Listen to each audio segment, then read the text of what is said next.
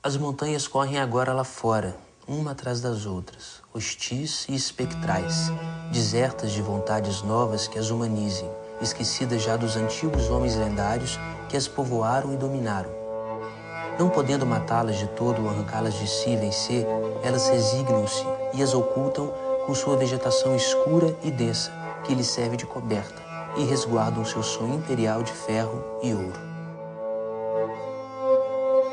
Quando eu, eu li o roteiro do Fronteira, é muito claro uma, que, que tem uma coisa muito forte no filme, é uma atmosfera. Quase que é difícil de definir, é quase por exemplo, você me pergunta hoje assim, que lugar é aquele do roteiro? Eu não sei dizer muito precisamente.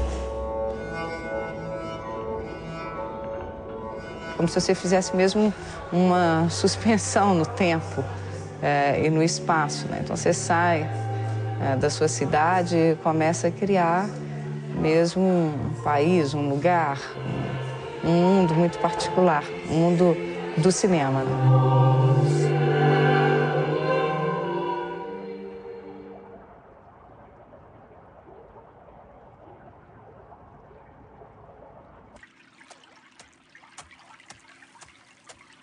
Parece-me que entrei nessa cidade furtivamente como alguém que volta da prisão para o país natal. As montanhas negras, escorrendo chuva, apagadas pelo denso nevoeiro que sobe da terra, calçada de ferro e também negra, caminham os meus olhos lentamente como em sonho sufocante. E a caminhada continua, horas intermináveis, sobe e desce, sobe e desce. Quero chegar, não quero chegar.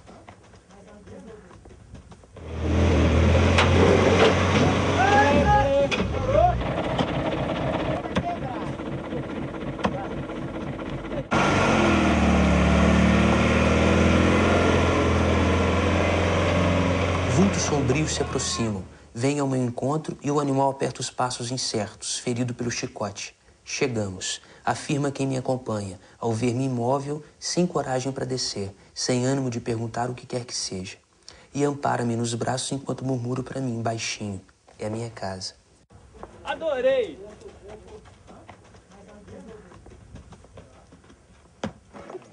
Bom, eu conheci o Cornélio Pena através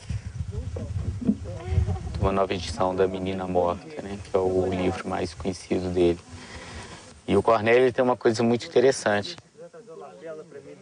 que é uma coisa muito da narrativa, da dramaturgia cinematográfica, que é a coisa do dizer não dizendo, né, do revelar não revelando. Então, essa construção é muito interessante para o cinema. Está sempre construindo informações que vão revelam alguma coisa, mas ao mesmo tempo criam um outro um outro enigma, né?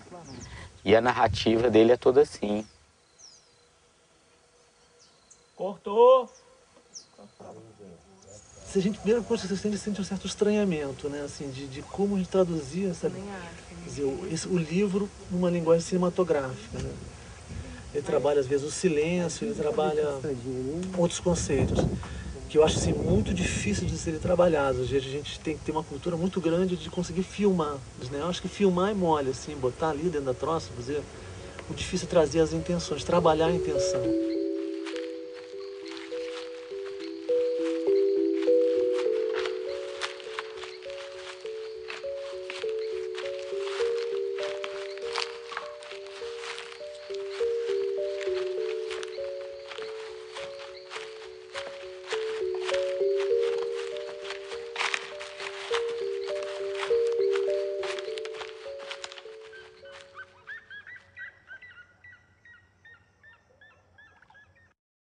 De repente, o golpe de olhos que Maria Santa me lançou, vivacíssimo, por entre as pálpebras semicerradas, despertou-me.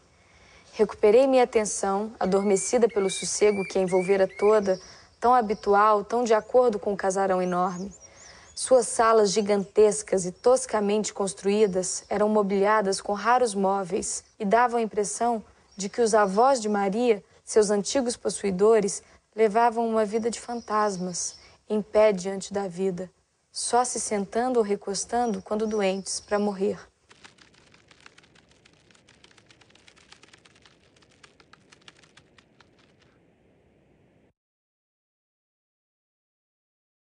O maior desafio do filme seria encontrar a locação ideal. O Cornélio, a obra do Cornélio, o livro, ele é muito descritivo, né? Fala daquele casarão, uhum que nunca acaba, né? Com milhares de cômodos. Então, como encontrar é, um casarão que estivesse preservado e que a gente pudesse é, interferir é, com uma equipe de filmagem durante tanto tempo e que fosse uma locação que, que permitisse uma interação com a equipe de produção. Depois de muita procura e uma, uma intensa pesquisa das locações, a Fazenda Água Limpa foi realmente um achado.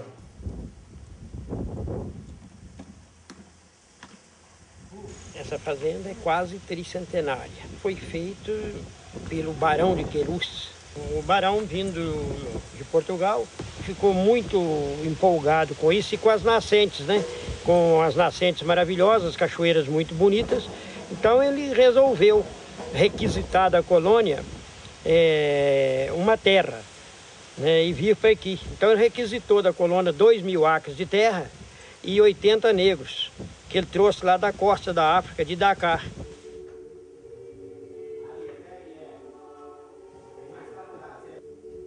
Câmera.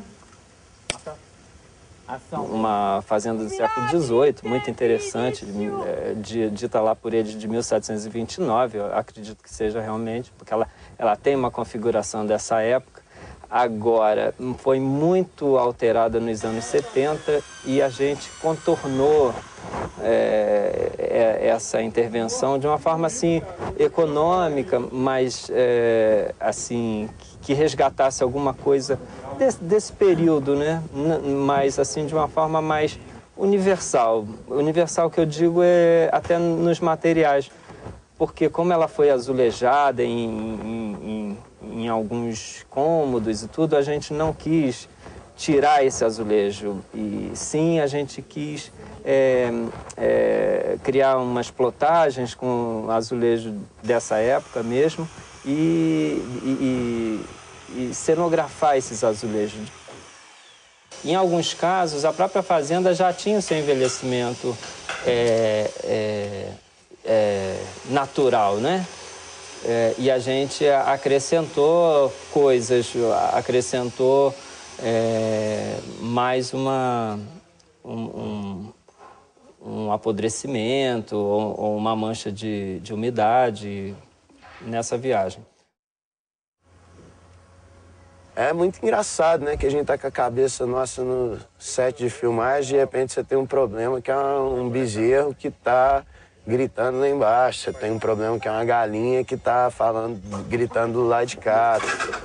Você tem problema que é o, o animal que chega tonto lá. E, então, assim, é, os problemas são dos mais diversos que aparecem, entendeu? Corta. Perfeito. Tá. Nós tivemos um, mês de trabalho intenso, assim, de seis a oito horas por dia com os atores. E como é uma adaptação, o Rafa já tinha feito essa adaptação do roteiro, mesmo assim a gente trabalhou juntos numa, numa preparação dentro da sala de ensaio que, que considerava a todo momento o livro né, do Cornélio Pena. Foi o trabalho de levantamento do texto e, ao mesmo tempo, do autor e do personagem. O personagem com as suas nuances, com o seu temperamento, com seu com a sua divergência da própria história.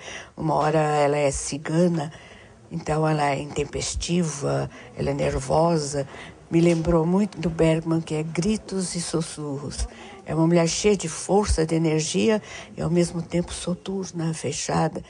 E essa, essas duas pontas de um personagem são fascinantes para um trabalho de criação.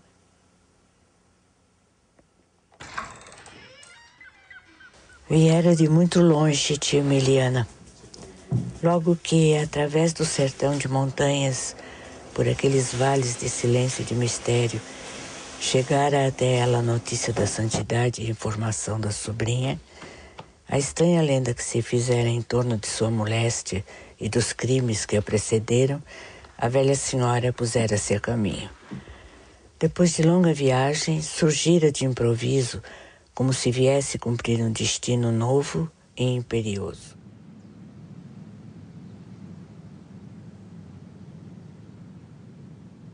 É, o, o filme Fronteira tem muito essa coisa de memória. Assim. Ele é uma narração, ele é um diário que é encontrado, então ele remete muita coisa de memória, né? O Casarão tem tudo isso, a coisa dos fantasmas, né? É, aquela coisa do, do, do Eisner, né? Cidades são cidades sobre cidades e, e, o Casarão é isso, são mais de 250 anos. E você pensa nas várias famílias, nos vários personagens, época da escravidão, né? a baronesa, né? que era tido como uma mulher perversa. E, e isso eu acho que ajuda a imprimir no filme, que o filme tem essa coisa também, em algum momento, você chega a imaginar que aqueles personagens do Fronteira são fantasmas mesmo, que estão habitando aquela casa.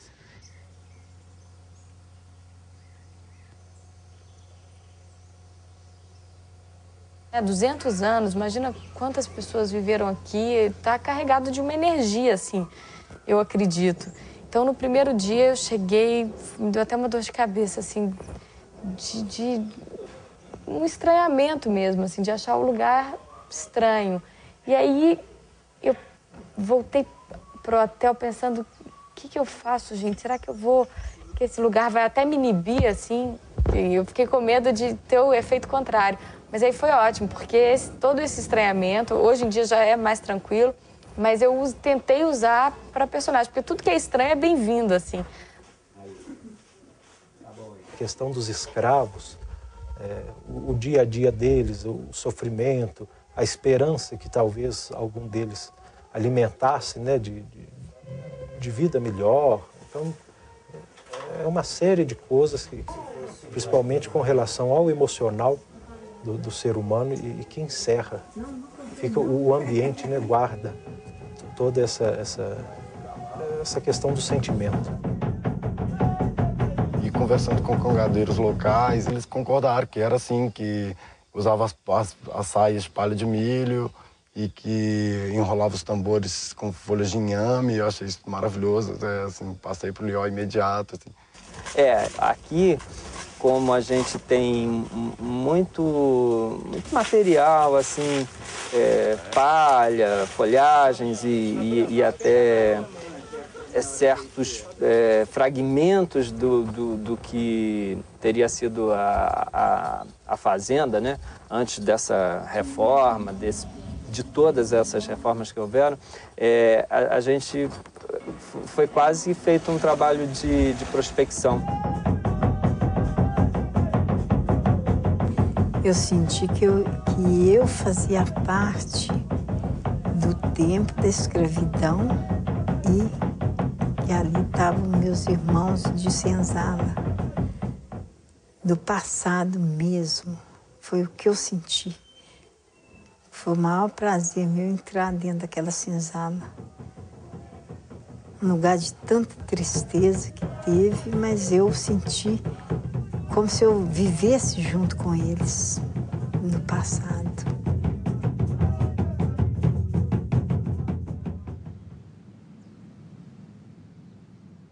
Foi assim que levei muito tempo sem saber se ela era agora viúva, solteira ou mesmo casada. Um dia, quando eu surpreendi sentada no chão com o vestido aberto em roda e tendo ao colo uma velha caixa para guardar botões, com muitos e pequenos compartimentos interiores, cada um com seu tampo em madeira modestamente incrustada de madrepérola, formando flores de fantásticos contornos, vi em suas mãos duas alianças simples e de modelo antiquado. Perguntei-lhe se eram dela. Foram da minha mãe. Eram do meu avô. Eles compraram para o casamento dos meus pais. Todos já morreram. A Maria Santa, ela tá na fronteira mesmo entre o profano e entre a santidade e o profano, entre o bem e o mal, entre a verdade e a mentira. Não. Quer estar tá com um viajante, quer viver com ele as coisas de uma menina da idade dela e tal, mas ela tem essa missão da santidade e ela fica nessa nessa coisa, nessa contradição, assim. Eu sei o que é. Como no romance ele é um narrador, que recebem a graça. né? Então ele, a princípio, ele fala de todos os outros personagens. Ele fala e não fala dele. E a gente procurou trabalhar em cima disso, das sensações dele, de- das sensações de cada cena, das sensações que ele tinha com relação a, a Maria Santa.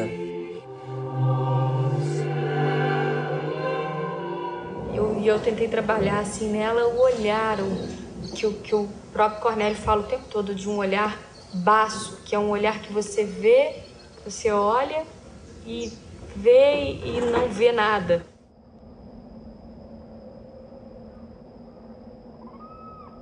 é uma junção de um mistério, mistério mesmo, mistério da própria história e mistério religioso. São duas coisas que eu sempre procurei, quis me aprofundar e felizmente eu tive oportunidade. E é uma profundidade do próprio romance, que é alguma coisa nova, diferente e moderna. De repente eu me vi com alguém do começo do século e de repente moderno.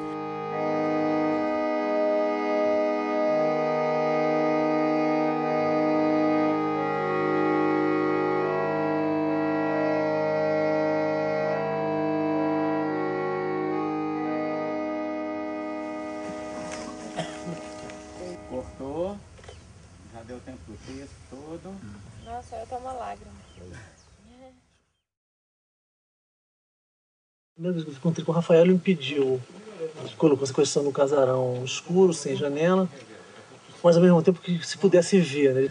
Tem áreas com luz, áreas iluminadas, áreas mais densas, tentando até trazer um pouco mais da dramaticidade para o filme, né? trazer um estranhamento para o filme. Também se apropria- apropriando do próprio estranhamento, a gente tive possibilidade também de, às vezes, não iluminar um, um- um dos personagens que é mais sombrios.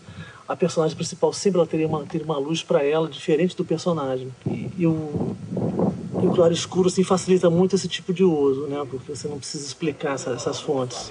Né? Você utilizava para o princípio da- das frestas da janela e você podia utilizar o recurso do claro escuro. Assim.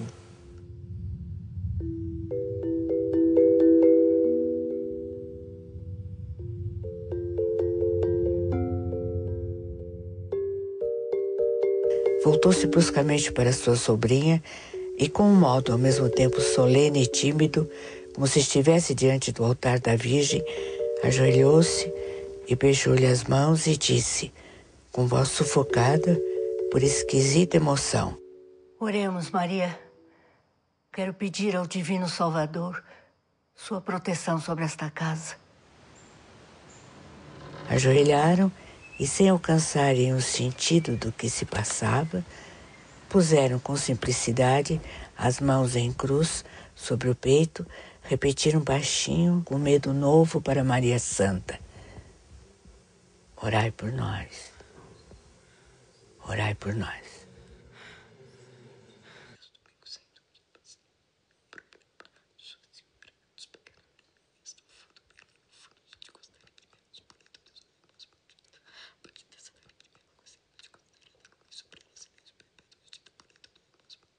Conseguiu chegar a uma solução de criar algumas frestas na janela que depois a gente vê no material, a gente chegou uma, uma conclusão muito boa, foi um, um acerto, até para quebrar um pouco da monotonia das imagens. Algumas horas eu senti uma surpresa de encontrar uma fresta que foi se transformando em cruz, ele foi se contextualizando o próprio filme. que a, a própria casa respondia a isso, respondia nas sombras que, que, que as janelas é, é, davam no- na- nas passagens de, de- de luz do sol, respondia no madeiramento, toda hora a gente via a cruz em tudo. Vamos lá? Continuação separada para a sequência 31C, tá rodando.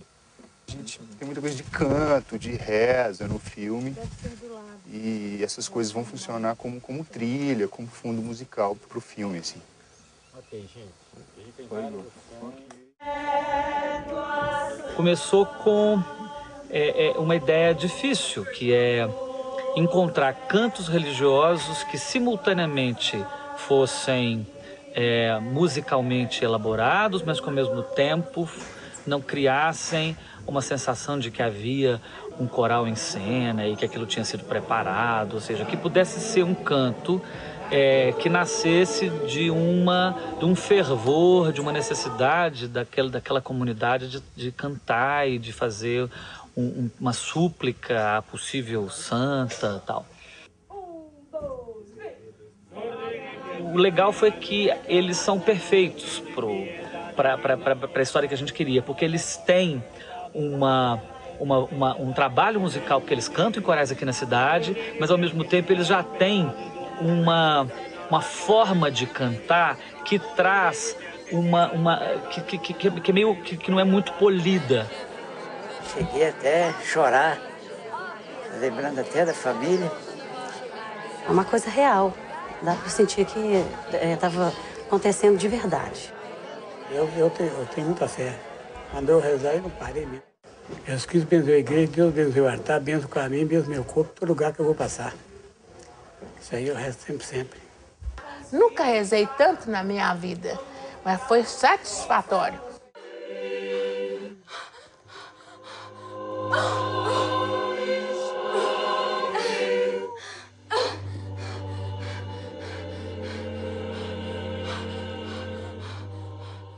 A confusão e o mal, então, em mim, mais possui vida independente e involuntária, longe de meu raciocínio e de minha vontade e é preciso que estranhos me auxiliem e me libertem. Mas quem me libertará? Fui até a porta. Nela apoiei o meu rosto e apurei os ouvidos para tentar compreender o que se passava lá dentro. Mas agora reinava na casa toda um silêncio transparente, sem mistério, como se estivesse completamente vazia das vidas que nela respiravam. É isso.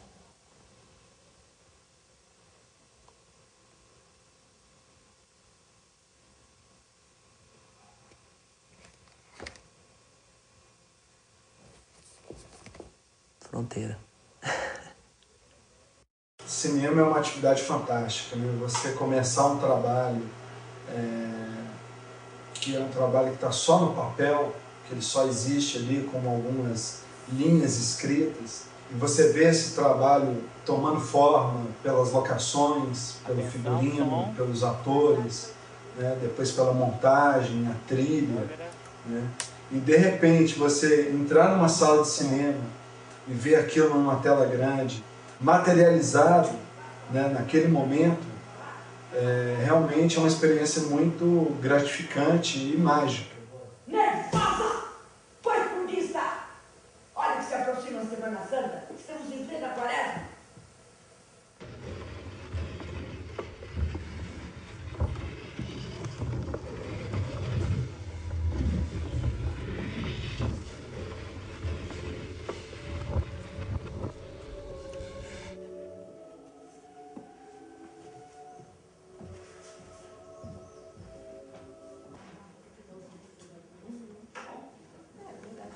Sei, né? Sempre o filme pronto é sempre uma surpresa, né?